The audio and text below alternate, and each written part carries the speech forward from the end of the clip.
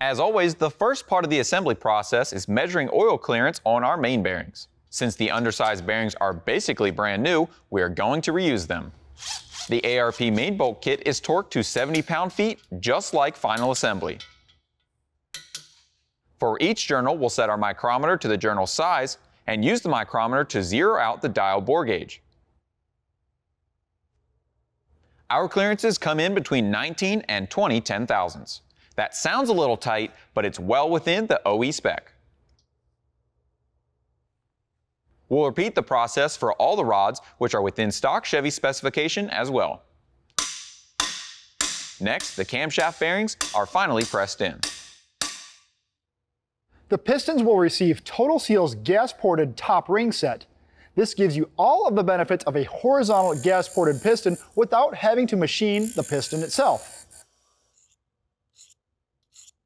Since our dyno mule engine will probably see some abuse, we'll gap the ring a little larger to 22 thousandths on the top ring and 24 thousandths on the second ring. We'll go slowly and check our work often.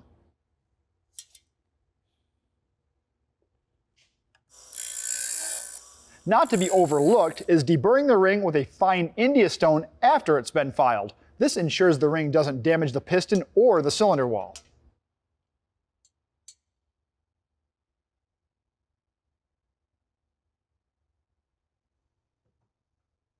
With everything cleaned, we'll lube up the bearings and reinstall our rebalanced and polished stock crankshaft.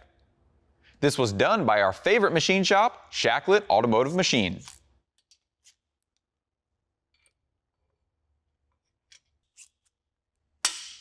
Just like before, the final torque value on the 4-bolt mains is 70 pound-feet.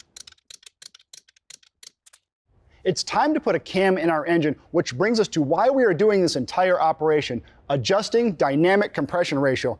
A lot of the times people get hung up on just static compression ratio to determine the octane and fuel they will use, when dynamic compression ratio is just as important as static. It is calculated the same way, but you have to know a couple different things about your engine. One is the connecting rod length, and two, where the intake valve closes in the cycle, and that is directly affected by the camshaft.